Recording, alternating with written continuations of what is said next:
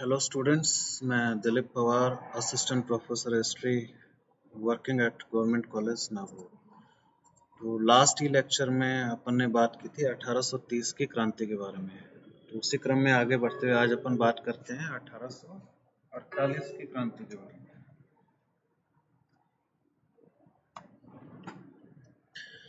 तो जैसा कि आप जानते हैं 1830 की जो क्रांति थी, वो फ्रांस में शुरू हुई। और फ्रांस में क्रांति होने के पश्चात उसका प्रभाव लगभग पूरे यूरोप में देखने को मिला। उसी प्रकार से 1848 की क्रांति भी उसी पैटर्न पे फ्रांस में ही शुरू हुई। और फ्रांस में शुरू होने के पश्चात इसका प्रभाव हम देखते हैं पूरे यूरोप में देखने को मिला। लेकिन फिर 1830 और 1848 की क्रांति में कुछ अंतर है। तो अगर अपन इंट्रोडक्शन के बारे में बात करें 1848 के क्रांति के बारे में तो it was tradition of revolution since 1789 continued in France इसका मतलब क्या है? कि जो क्रांति का सिलसिला 1789 में शुरू हुआ था, आपको पता है फ्रांस की क्रांति हुई थी 1789 में। तो वह सिलसिला जारी रहा। कैसे जारी रहा? पहले 1700 1789 की क्रांति हुई, उसके बाद 1830 की क्रांति हुई अब 1848 की क्रांति हुई। तो ये जो तीनों क्रांतियों में एक कॉमन चीज़ है। तीनों क्रांति राजा के निरंकुश शासन के विरोध में जनता के द्वारा क्रांति की गई। तो इन तीनों क्रांति के द्वारा हम देखते हैं राजा की शक्तियाँ बहुत कम हुई और जनता को धीरे धीरे अधिकार मिले। तो इन तीनों क्रांतियों में पैटर्न एक सा है। फिर अपन 1830 की क्रांति के बारे में थोड़ा सा यहाँ पे बात करेंगे कि 1830 की क्रांति क्यों हुई। तो जो अपन यहाँ बात करेंगे वो है कि ये 1848 की क्रांति क्यों हुई? वाय मैंने लिख रखा है ना, यानी 1848 की क्रांति के होने के पीछे कारण क्या है? जैसे जो 1830 की क्रांति हुई थी, उसके पश्चात क्या हुआ? कुछ सकारात्मक बदलाव हुआ है 1830 की क्रांति के बाद हम देखते हैं कि अधिकांश देशों में यूरोप के एक लिबरल कॉन्स्टिट्यूशन की स्थापना की गई। लिबरल कॉन्स्टिट्यूशन है, उदारवादी संविधान की स्थापना की गई। उदारवादी संविधान का मतलब यह है कि इस संविधान के माध्यम से राजा के अधिकार कम हुए जनता को अधिक अधिकार दिए गए। तो जब जनता को अधिकार मिले, इसका मतलब यहाँ पे आम जनता से नहीं है। जो उदारवादी संविधान बनाया गया, उसके अंतर्गत अधिकांश फ़ायदा किसके द्वारा लिया गया? मिडिल क्लास के द्वारा, मध्यम वर्ग के द्वारा अधिक से अधिक अधिकार प्राप्त किए गए 1830 की क्रांति के पश्चात। तो यहाँ पे केवल मध्यम वर्ग को फ़ायदा हुआ, जो निचले वर्ग के लोग थे, जो आम जनता थी, उनको अधिक फ़ायदा नहीं हुआ। तो आम जनता में जो असंतोष है, वो शुरू से ही बना हुआ था। क्योंकि 1830 की क्रांति का सारा फ़ायदा मध्यम वर्ग ने लिया। लुई फिलिप राजा बना 1830 की क्रांति के पश्चात और जो लोअर क्लास है, उसका शोषण पूर्वव्रत जारी रहा।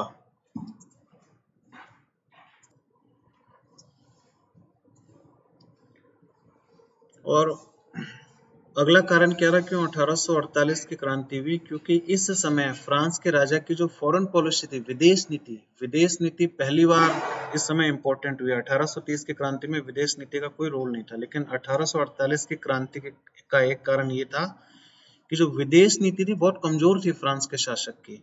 खासकर बेल्जियम के प्रश्न पे और जो ईस्टर्न प्रॉब्लम थी, जो पूर्वी समस्या थी उससे संबंधित जो विदेश नीति थी, लुई फिलिप की, वो बहुत कमज़ोर थी। और फ्रांस का स्थान है विदेश नीति के मामले में, दुनिया में, यूरोप में नीचे गिरता जा रहा था। तो ये भी एक कारण है कि विदेश नीति काफ़ी कमज़ोर थी लुई फिलिप राजा की, जो फ्रांस का राजा था। फिर दूसरा और कारण है, जो कारण इसी वक्त ही हुआ है, अठारह के क्रांति के समय। यह कारण 1830 के क्रांति के समय में नहीं था। इसमें लिखा हुआ है कि 1830 के दशक में जो समाजवाद है, उसकी विचारधारा भी यूरोप में बढ़ने लगी थी। फ्रांस में भी समाजवाद की विचारधारा अत्यधिक बढ़ने लगी थी।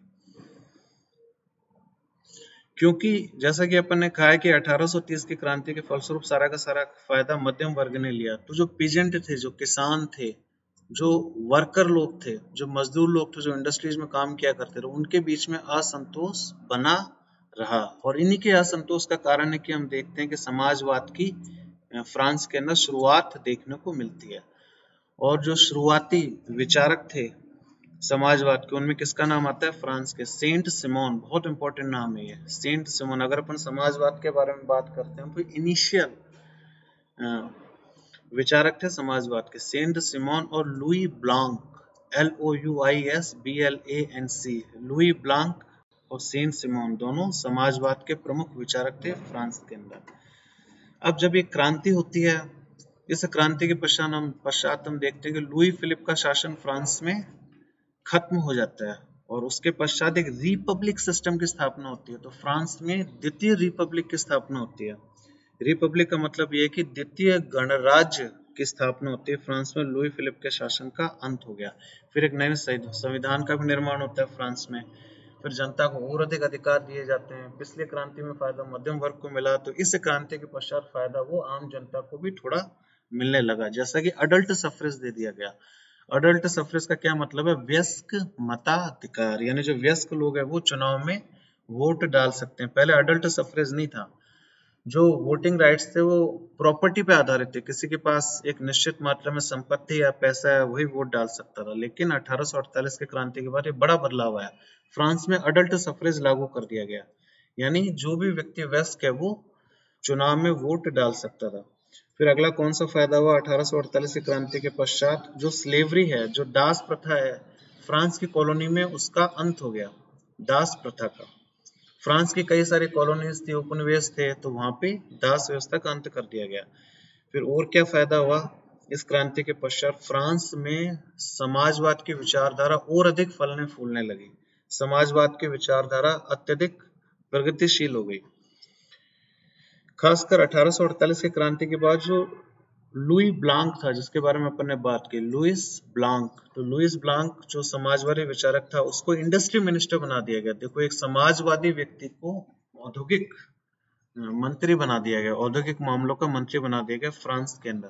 तो इसलिए हम देखते हैं कि जो मजदूर वर्ग थे, उनको अधिकार मिलने शुरू हो गए 1848 की क्रांति के बाद। तो ये जो समाजवाद का एंगल है, जो सोशलिज्म का एंगल है वो 1848 के क्रांति में नया है। 1830 के क्रांति में समाजवाद की कोई बात नहीं थी, लेकिन 1848 के क्रांति के समय तक समाजवाद उसका प्रभाव फ्रांस में और यूरोप में बढ़ गया था। फिर अपन बात करते हैं कि 1848 की जो क्रांति हुई, उसका प्रभाव क्या पड़ा? फ्रांस में क्या प्रभाव पड़ा, उसके बारे में अपन ने पढ़ लिया। अब अपन बात करेंगे कि पूरे यूरोप में 1848 की क्रांति का क्या प्रभाव पड़ा। जैसा कि अपन जानते हैं, फ्रांस की क्रांति का प्रभाव पूरे यूरोप में पड़ा। 1830 के क्रांति का प्रभाव पूरे यूरोप में पड़ा, उसी तरीके से 1848 के क्रांति का प्रभाव पूरे यूरोप के अंदर पड़ा है। इसलिए कहा जाता है, मैंने लास्ट लेक्चर में बताया था कि जब भी भी फ्रांस, ऐसा कहा जाता है इतिहासकारों के द्वारा कि जब भी भी फ्रांस को जुकाम होता है तो पूरा यूरोप छींकता है। इसका मतलब यूरोप में कोई भी महत्वपूर्ण गतिविधि होती है, उसका सीधा प्रभाव यूरोप के सभी देशों पर पड़ता है, क्योंकि फ्रांस एक अति महत्वपूर्ण देश था यूरोप का। अब इसका बाहर क्या प्रभाव पड़ा? जो ऑस्ट्रिया का चांसलर था मेटरनिक। मेटरनिक के ही गाइडेंस में 1815 की वियना ट्रीटी स्थापित की गई थी। तो जो मेटरनिक है, उसका डाउनफॉल हो गया, यानी मेटरनिक का अंत हो गया। मेटरनिक को अपने शासन से हाथ धोना पड़ा। और फिर अपन देखते हैं, इटली और जर्मनी में भी इसका प्रभाव पड़ा, दोनों देशों में। क्योंकि जब 1848 की क्रांति हुई थी तो उसमें इटली और जर्मनी के जो राष्ट्रवादी लोग थे, वह यह चाह रहे थे कि इस क्रांति का फ़ायदा उठा के हम अपने देश का एकीकरण कर लें। इटली के वासी इटली का एकीकरण करना चाह रहे थे। जर्मनी के जो लोग थे, वो नेशनलिस्ट लोग थे, वहाँ के जर्मनी का एकीकरण करना चाह रहे थे। तो इन दोनों देशों के लोगों को लगा कि 1848 की क्रांति जो यूरोप में हुई है, जो फ्रांस में हुई है, इस क्रांति के फलस्वरूप हम भी अपने यहाँ पे प्रयास करें। हो सकता है कि इटली और जर्मनी का एकीकरण करना संभव हो जाए, लेकिन उनके प्रयास यहाँ पे सफल नहीं हुए। लोगों ने प्रयास किया इटली और जर्मनी को एकीकृत करने के पश्चात क्योंकि हम देखते हैं, मेटनिक जो इटली और जर्मनी के एकीकरण का सबसे बड़ा दुश्मन था, वो खत्म हो चुका था। तो इनको आशा थी कि एकीकरण हो जाएगा, लेकिन इनका प्रयास अधूरा रह गया। तो इसके बारे में डिटेल से अपन ने इटली और जर्मनी का एकीकरण जब किया था, उसके बारे में अपन ने पढ़ा था कि 1830 की क्रांति का क्या प्रभाव पड़ा इटली, जर्मनी में, और 1848 की क्रांति का इटली और जर्मनी में क्या प्रभाव पड़ा। So it was a failed unification effort of Italy and Germany यह प्रयास कामयाब नहीं हो पाया। जैसे जर्मनी में क्या हुआ? नेशनल पार्लियामेंट वॉज़ इलेक्टेड 1848 के क्रांति के बाद में जर्मनी में एक राष्ट्रीय संसद की स्थापना की गई। लेकिन क्राउन ऑफ़ यूनाइटेड जर्मनी तो जो जर्मनी का शासक था, उसने संपूर्ण एकीकृत जर्मनी का क्राउन वहाँ का शासन लेने से, वहाँ की गद्दी लेने से इनकार कर दिया लास्ट मोमेंट पे। राष्ट्रीय संसद की स्थापना हो गई, लेकिन जो राजा है वहाँ का, उसने संपूर्ण एकीकृत जर्मनी के गद्दी लेने से इनकार कर दिया। तो इसलिए और फिर मौका पाके इस आंदोलन को कुचल दिया गया। तो कुल मिला यह प्रयास कामयाब नहीं हुआ।